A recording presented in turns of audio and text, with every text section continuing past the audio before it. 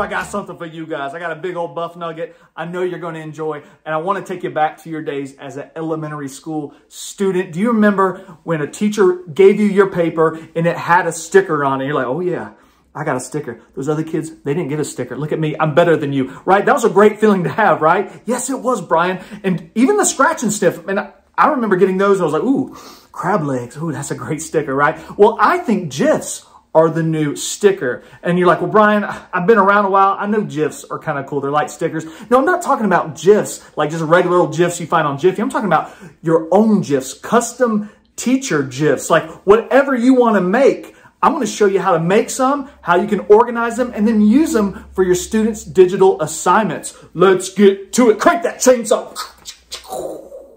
All right, so here's what you came for. So here on the left, you see I've used a Google slide to put all of my amazing teacher made GIFs. Yes, I made all these using this app on the right. We're going to get to that in a second.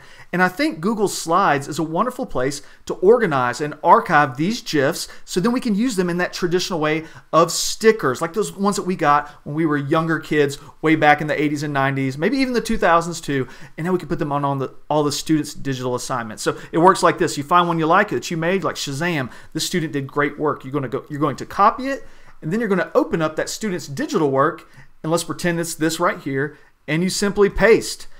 And just like that, you have made a child's day. They want to scratch that, they want to sniff it. They're just excited that, hey, my teacher made me a custom sticker that maybe other kids didn't get because mine is much more rad than theirs. So there you go. That's how I kind of do that, justify why we're making GIFs. There's probably a million other reasons why we're making GIFs. And plus, I just think it's fun. I think fun has value. So I'm using an app called Wibble on the right.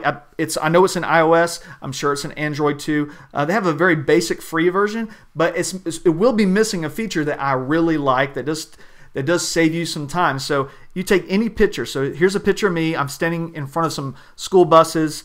And it, on the bottom here, on the bottom, there's a special little button. It has some stars and a circle. And what this does is if you use the paid version, the paid version I think is five bucks a month, or they have, have they have a yearly thing, or you can do a three day trial.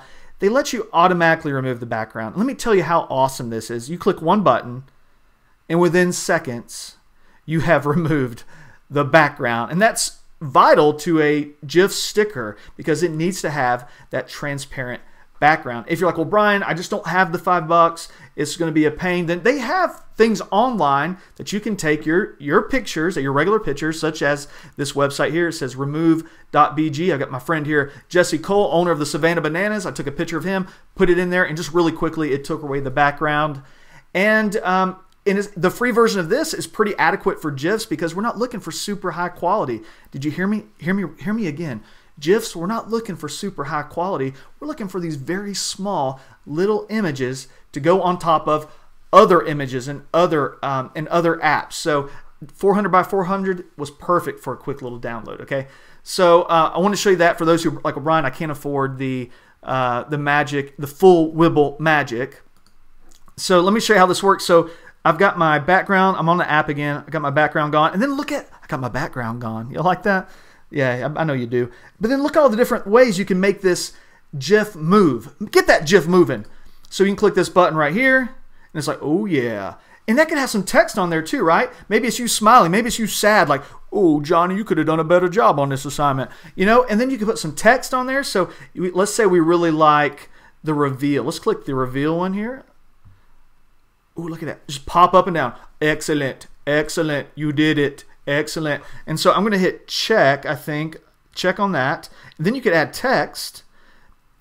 And so you can do double tap and maybe put sweet or a wheat. Yeah, a wheat. That's awesome.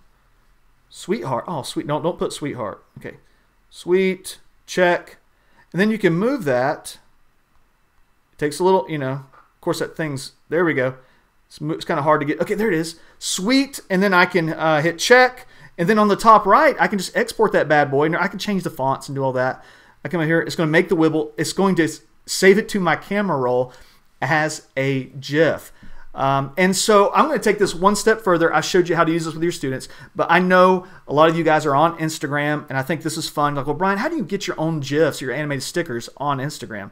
This is pretty sweet. So I'm going to go to Instagram real quick. I'm going to take a selfie. Let's see here. There we go. And then I'm going to, um, oh, I got to go to my camera roll and I'm going to pick one of these GIFs that I already have. So maybe the Shazam one. I'm just going to hold my finger down on it. I'm going to copy, go back to Instagram, and it's like, ooh, Brian, let's just add your own sticker. And what what is going on? Did you know you could do that? You could totally do that and then you send it on. That's for your stories. You can add your own GIF stickers, guys. Hey guys, that was fun. Am I right? So if you enjoyed that, make sure you do all the wonderful YouTube things like like, subscribe, write something beautiful in the comments. Let me know you enjoyed this. And I tell you what, this is really for the kids, but secretly it's really about the teachers too, because I think making your own GIF stickers is just fun. Hey, thank you so much for watching my video and allowing me to share another fabulous buff nugget.